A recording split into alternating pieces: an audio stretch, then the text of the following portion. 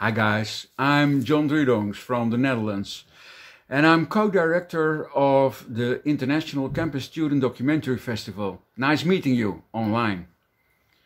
As an emeritus uh, professor of practice, I still guest lecturing in documentary making, crowdfunding and of course transmedia journalism. Proud to be a juror of the International Tourism Film Festival Africa. I call on all videographers to submit their audiovisual productions about tourism and sustainability to this unique festival on the African continent.